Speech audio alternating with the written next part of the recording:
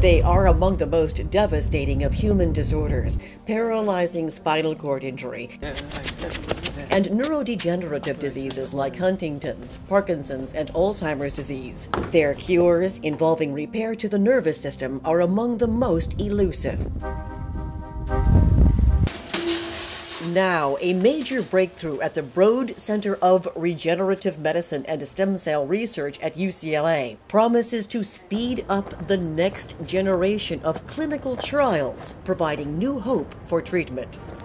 For the first time, Broad Center researchers have taken skin cells from a patient, used a virus to break them down into embryonic like stem cells without the use of animal products, what's called a xeno free environment. From the skin cells, using the virus, we generate animal free embryonic like stem cells. These are the single cells and it, this is a cluster. It's called as a colony. It was really a very exciting moment in the lab because we were not very sure whether we will be able to generate uh, any embryonic like stem cells from the skin right from the skin biopsy under xeno-free environment or the animal-free environment.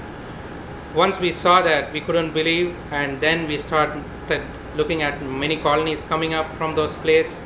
This breakthrough, creating the embryonic like stem cells from a patient's own skin cells without the use of animal products, means cutting out laborious, time consuming testing at every stage for animal contamination, speeding up production of potential stem cell treatments for patients. We take the cells from the skin of human patients under very clean animal-free conditions. We grow them in a special facility with special air handling, special security, special equipment. We then reprogram them with the latest um, types of reprogramming methods uh, that bring them back to a more embryonic-like state.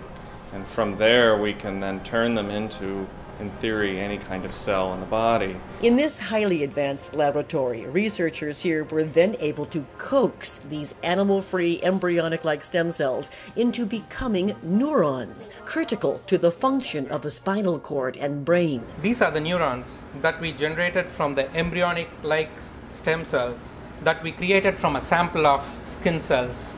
It's very difficult to come by neural tissue from patients and so, in theory, because we take the cells back to an embryonic state, we can uh, turn them into all the cells of the nervous system. So, you could think about treating any kind of neurodegenerative disease or even um, neurological injuries. Treat a patient essentially with their own cells. The science of stem cell therapy has never been more promising. Millions are waiting.